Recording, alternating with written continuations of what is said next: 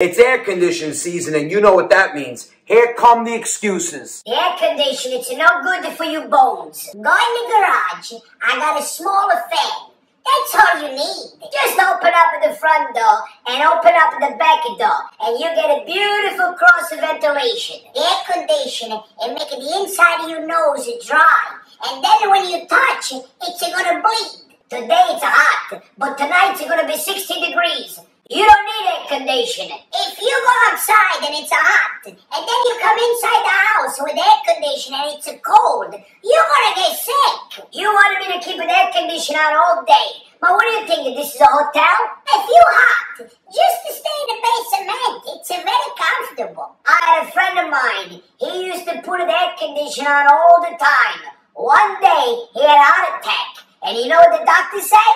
The air conditioner freezes the heart. If you keep an air conditioner on at night when you sleep, the cold air, it's going to shrink your piece